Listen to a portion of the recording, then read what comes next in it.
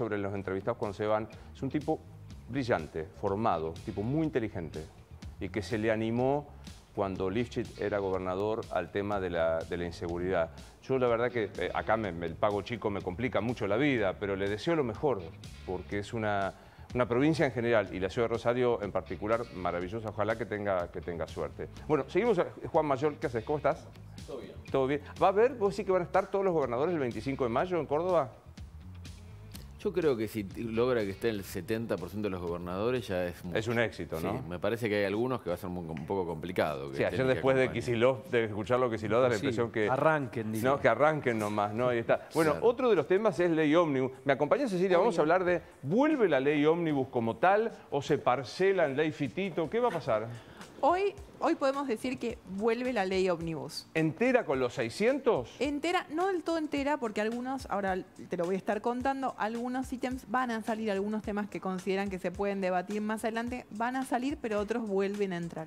Entre ellos el capítulo fiscal, que es un capítulo central para el diálogo con las provincias. Mm. A ver, ayer en Casa Rosada había mucha información sobre lo que pasaba, hubo una reunión muy importante a la tarde entre Nicolás Pose, el jefe de gabinete, entre Guillermo Francos, el ministro del Interior, y entre Luis Caputo, el ministro de Economía.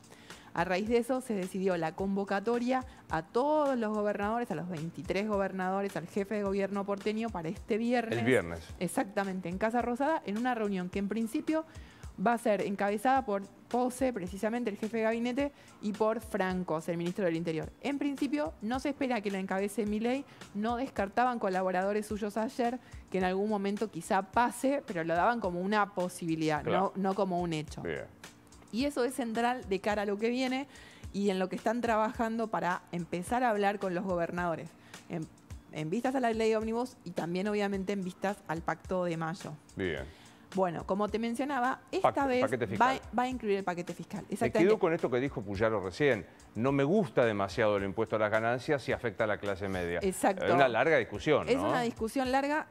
Ahora le vamos a contar, va a tener una buena noticia a Puyaro, que es que no se van a tocar retenciones, al menos esa es la idea. Volvemos un segundo, perdón, a la placa anterior a mm. los chicos que eh, teníamos que decía, paquete fiscal y la anterior, porfa.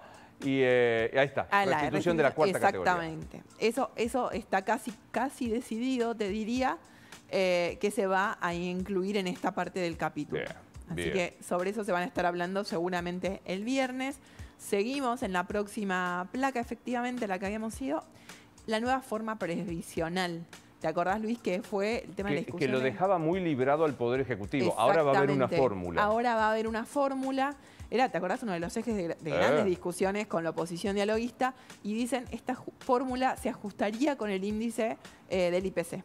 Esa sería un poco la idea que hoy por hoy tiene el gobierno. El gobierno se muestra, a diferencia de quizá en parte de lo que pasó antes, muy abierto al diálogo. Una, dice, nosotros estamos dando buena, eh, muestras de buena voluntad, esperamos lo mismo de la otra parte y creen que ya están teniendo gestos de buena voluntad, como fueron algunas de las expresiones públicas de los mandatarios provinciales eh, poco después del discurso de Milei el viernes por la noche. Puyaro, no tocarían las retenciones. exacto, dicen, los números, los números macro, los números grandes nos están dando bien, entonces no necesitaríamos tocarlas. Es más, dicen, si fuera por nosotros, las bajaríamos. Todavía no podemos, pero no las, van, no las van a subir. Eso lo decían ayer como un hecho.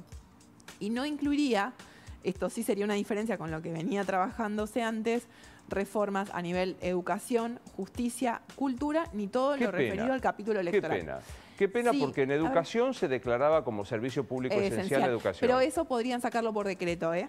Ah. Ojo con eso, porque ah. eso podría, podría estar, de hecho, hace unos días ya se venía trabajando esta idea internamente de poder sacarlo por decreto, porque es algo que, estaba contemplado eh, y lo consideran realmente muy importante, sobre todo teniendo en cuenta con lo que vienen marcando eh, los gremios vinculados al área docente, que en dos semanas ya metieron dos paros. Y no se va a tratar ni boleta única papel, ni derogación de las pasos. no por ahora, dicen. Hay otras urgencias, no, no vamos a, sí, no vamos a complicar con cosas que mm. pueden esperar un poco más. Sacamos lo urgente, más adelante dice, no quiere decir que no se vaya a trabajar, pero no en lo inmediato. Bien.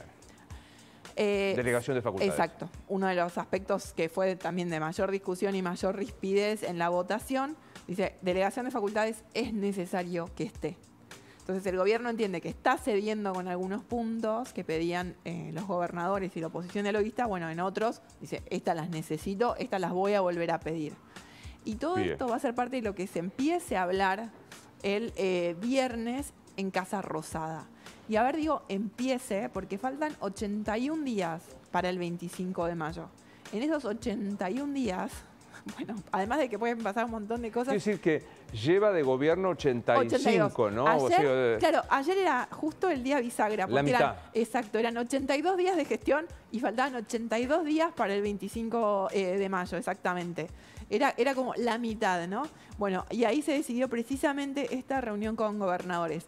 Y lo que te decían un poco de cara al pacto de mayo es que dicen, son tantos temas los que tenemos para abordar que probablemente ah, vayamos abordando uno por semana de acá en estas casi 12 semanas que vienen por delante, vamos a ir abordando uno por uno para ir conversando. mm, Insisto en la palabra que, en, en la frase que usaban, que decía, acá hay un tema de buena voluntad y creemos que del otro lado está.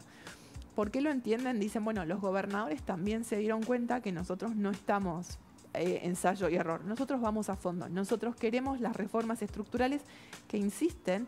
Todo lo que era la ley ómnibus original, con esos más de 600 artículos, es solo una tercera parte de las reformas Claro. que buscan.